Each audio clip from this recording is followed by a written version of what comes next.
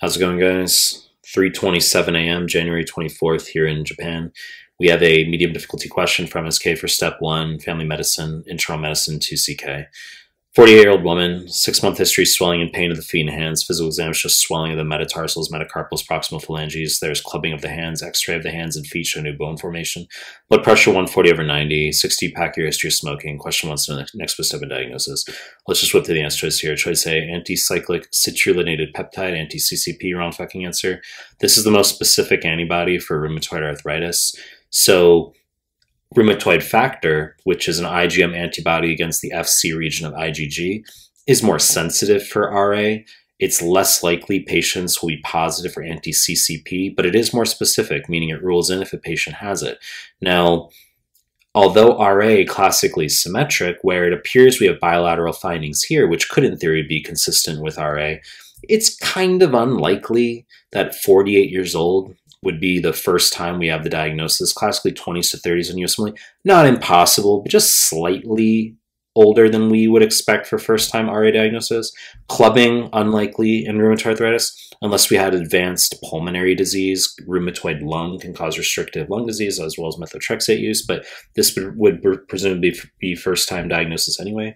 New bone formation could, in theory, refer to pannus formation in RA we're just going to keep looking through the answer choices. Okay, so choice B, anti-nuclear antibody, wrong fucking answer. Exceedingly rare that this is ever correct on USMLE.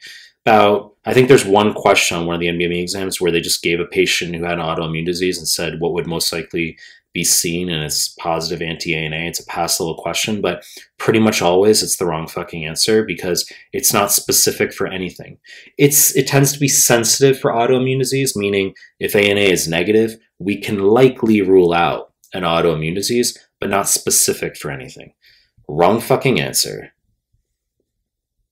Choice C, bone densitometry, wrong answer. So this would be done at age 65 in all women. Okay, and then depending on their T score, uh, they will either get a bone densitometry every two years or uh, greater lengths of time, such as up to 15 years if their bone density is normal.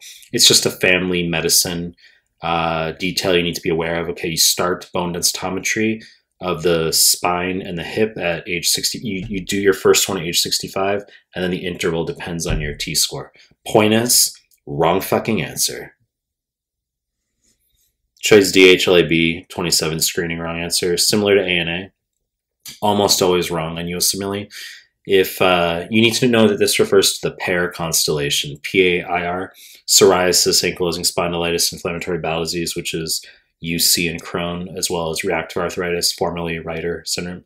So, for for example, if you had a kid who had blood in the stool, 16 year old with blood in the stool, and has back pain that's worse in the morning, gets better throughout the day, that could, in theory, be Crohn with early ankylosing spondylitis. Wrong fucking answer. Choice C, X-ray screening nebulous answer choice, which I did on purpose because I'm an asshole uh, is the correct answer. Okay, so we're going to do a chest X-ray in this patient. Now, if you think this is weird or tricky, don't take it up with me. Take it up with the NBME exam. Okay, this is what they do. They want chest X-ray here, and the diagnosis is hypertrophic osteoarthropathy, aka, if you want to be fancy, osteoarthropathia hypertrophicans, which is going to be lung cancer plus arthritis plus clubbing.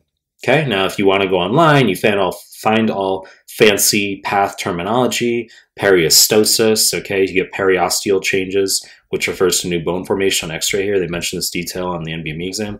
But for your consolidation's sake, what you need to know, what I want you to take away from this clip, is if you have a patient who's a long-term smoker where they're at risk for lung cancer, and they get finding swellings of the hands, plus or minus the feet, they mentioned the metatarsals on the NBME question as well, plus clubbing. Okay, this is a fibrovascular reaction. That is going to be hypertrophic osteoarthropathy. So it's just a diagnosis you need to be aware of. Okay, hits students, it's a bit of a blindsider, but it shows up a few times on the NBME exam. You know the deal to make more content. If you like my stuff, subscribe my channel. And I appreciate your time. That's it.